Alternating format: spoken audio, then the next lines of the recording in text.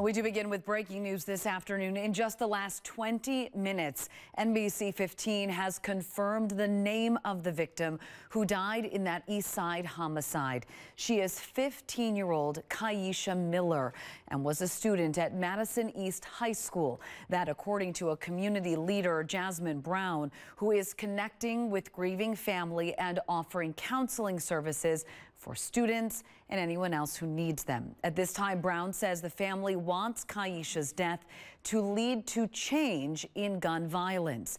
Meanwhile, the Madison Police Department is still looking for at least five suspects who could be responsible for the shooting death.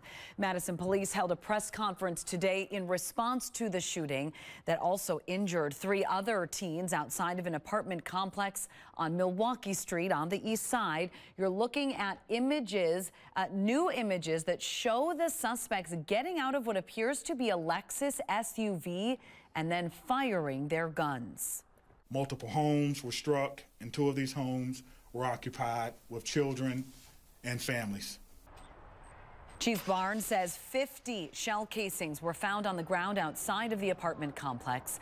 Coming up at 5, NBC 15's Marcus Aarsvold will be live at the complex talking about how MPD is asking the community to help with this investigation.